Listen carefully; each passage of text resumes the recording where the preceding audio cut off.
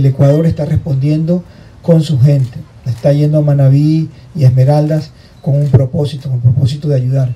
Y este Festival Tinku es un paso más para todo lo que tenemos que hacer y seguir haciendo por Manabí. Bahía siempre se ha caracterizado por ser una ciudad turística evidentemente, pero faltaba este plus adicional y yo creo que con esto vamos a fortalecerla. Extremadamente clara para mí es el potencial turístico que tiene el Ecuador, no lo tiene la región.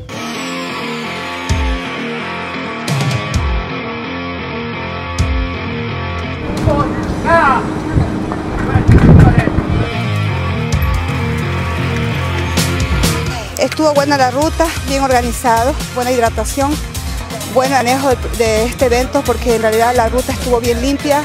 Quiero agradecer a la organización que se ha esmerado en hacer una buena pista y una buena carrera.